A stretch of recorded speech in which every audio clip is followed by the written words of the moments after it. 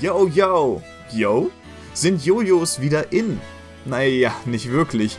Sind sie ein gutes Konzept für einen 3D-Plattformer? Wenn man die Entwickler von Penny's Big Breakaway fragt, allemal. Jojo-Platforming ist auf der Agenda und wir schauen uns heute das erste Spiel des Entwicklers Evening Star Studio an. Naja, so wirklich neu sind die Leute hinter dem Studio auch nicht. Das Studio gibt es seit 2018 und viele aus dem Team waren bereits schon an der Entwicklung von Sonic Mania beteiligt. Nach kreativen Differenzen zwischen den Entwicklern und Sega bezüglich eines Nachfolgers kam es aber nie dazu und das Team hat sich eigenständig gemacht und hat mit Penny's Big Breakaway ihre eigenen Ideen in ein Spiel umgesetzt. Sega hat danach auf schnell schnell mit Arzest gemeinsam Sache gemacht und Sonic Superstars entwickelt. Wie das gelaufen ist, könnt ihr in unserer Review zu dem Spiel nachschauen. Die Entwickler von Penny's Big Breakaway haben also Ahnung, wie man einen überzeugenden, spaßigen Highspeed-Plattformer auf die Beine stellt. Und das merkt man auch direkt, sobald man den Controller in die Hand nimmt. Man steuert Penny, die alleine nicht sonderlich fix zu Fuß ist, aber mit ihrem lebendigen Jojo kann die Straßenkünstlerin einiges an Geschwindigkeit aufbauen. Schlagen, schwingen, springen und reiten, das sind alles Sachen, die das Jojo ihr ermöglichen. Gekoppelt mit der intuitiven Physik des Spiels lassen sich die gegebenen Fähigkeiten miteinander kombinieren, um richtig Geschwindigkeit aufzubauen. Der Begriff Momentum-Based Platforming, also Platforming, das auf Schwung basiert, wird hier ausgereizt. Das Leveldesign ist sowohl auf gemächliches Durchstreifen als auch auf fetziges Fortbewegen ausgelegt und erlaubt dem Spieler Kreativität beim Beenden der linearen Level. Gerade beim ersten Durchspielen eines Levels macht man sich mental bereits Gedanken, wie man den Level so schnell wie möglich durchfliegen kann. Das erste Durchstreifen sollte aber meist recht gediegen von Hand gehen, da alle Level auch mehrere Sammelgegenstände und Nebenmissionen haben. Die Collectibles sind immer etwas abseits des Hauptpfades versteckt und verlangen etwas Grips und einen guten Umgang mit den Mechaniken des Spiels ab. Die Missionen, bei denen man den Bewohnern der verschiedenen Gebiete hilft, sind unterschiedlich aufgebaut. Mal muss man bestimmte Gegenstände sammeln, ein anderes Mal eine bestimmte Combo vorzeigen. Die Missionen sind aber nie wirklich schwer oder aufdringlich und integrieren sich eigentlich nahtlos in den Flow des Spiels. Und Flow ist wohl das Wort, das Penny's Big Breakaway am besten beschreibt. Sobald man sich die Steuerung und das Leveldesign einverleibt hat, geht dieses in Leib und Seele über. Hierein liegt aber auch das einzige kleine Problem mit dem Gameplay. Die Steuerung ist anfangs etwas eigen. Man bewegt das Jojo nämlich entweder mit einer Taste, was nur in eine Blickrichtung funktioniert, oder durch den rechten Stick, was dem Spieler einiges mehr an Freiheit bietet, aber auch mehr Präzision und schnellere Bewegung des rechten Sticks abverlangt. I want to be a yo-yo man, he cried. Make me a yo-yo man. But the yo-yo master did not answer. He just kept on yoing. Gut, dass die Kamera quasi fixiert ist und sich immer mit dem Levelverlauf bewegt. Schlecht ist, dass Backtracking hierdurch leider fast unmöglich gemacht wird. Hat man also ein Collectible übersehen, bleibt nur die Option, das Level neu zu starten. Hat man die Steuerung aber verinnerlicht, kommt fast kein anderes Spiel an die Offenheit der Bewegung ran.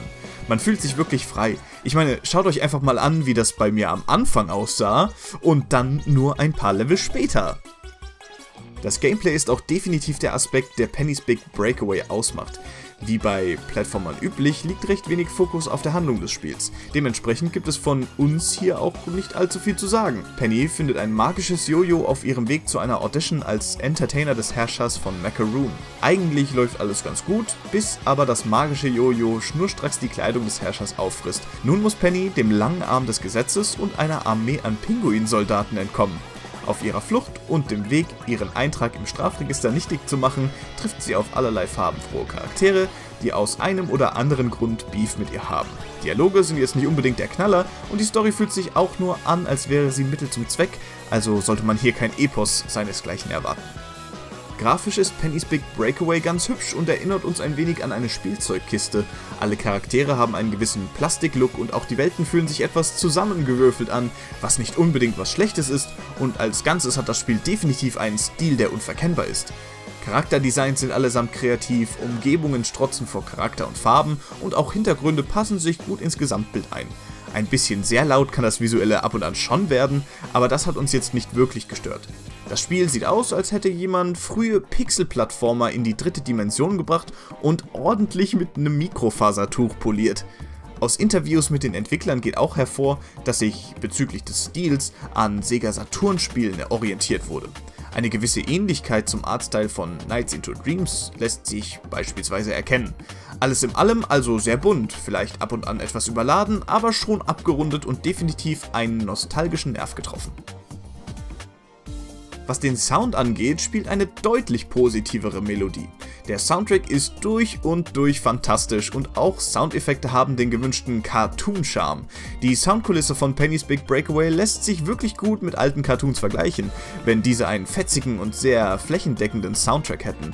Das Spiel vereint in sich dank der Komponisten T. Lopes, der auch schon für den Soundtrack von Sonic Mania verantwortlich war, und Sean Bialo wirklich viele Genres, die trotzdem durch cleveres Songwriting und eine in sich geschlossene Instrumentation ein wirklich abgerundetes und außerordentliches Ohrerlebnis liefern. Ein gewisses Wap zieht sich durch den gesamten Soundtrack und es ist wirklich interessant zu hören, wie dieser eine Sound so anpassungsfähig eingesetzt wurde.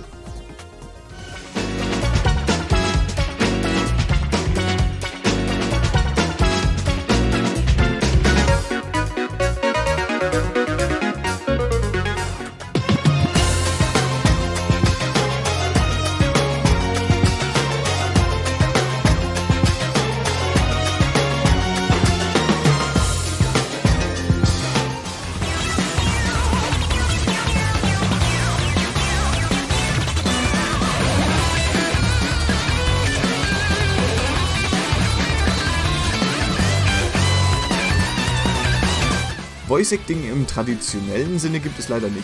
Das Spiel bedient sich Gibberish für die Charaktere, wie man es auch schon aus Spielen wie Banjo-Kazooie kennt, also quasi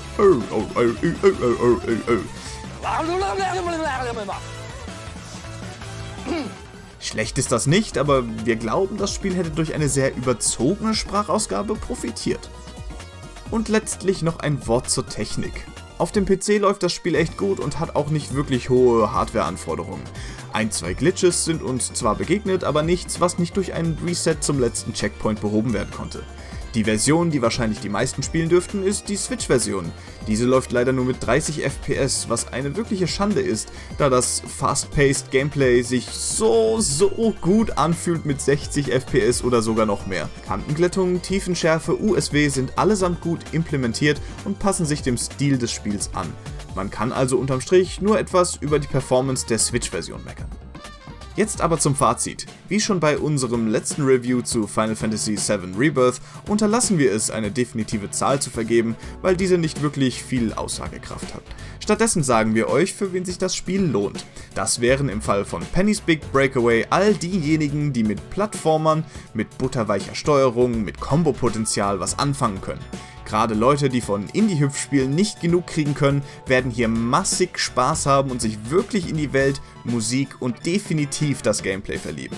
Mit wirklich nur wenigen Fehltritten in allen Kategorien haben wir es hier mit einem wirklich einzigartigen und markanten 3D-Action-Plattformer zu tun. Wer aber noch nie wirklich mit Spielen wie Super Mario oder Sonic zum Beispiel warm geworden ist, dürfte auch hier nicht unbedingt seinen Einstieg finden. Die komplexe und tiefgründige Steuerung ist eher so konzipiert, dass sich Veteranen des Genres richtig ausleben können. Natürlich ist auch für jüngere Spieler einiges geboten und abschrecken sollte die Steuerung nun auch nicht, aber man muss sich definitiv reinfinden. So, jetzt aber genug gefaselt. Was haltet ihr von Penny's Big Breakaway?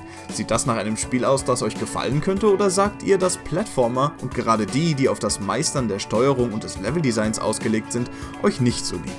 Lasst es uns gerne in den Kommentaren wissen. Ich verabschiede mich jetzt erstmal, denn ich muss noch die 100% sammeln. Also, bis zum nächsten Mal und danke fürs Zuschauen. Bis dann und ciao.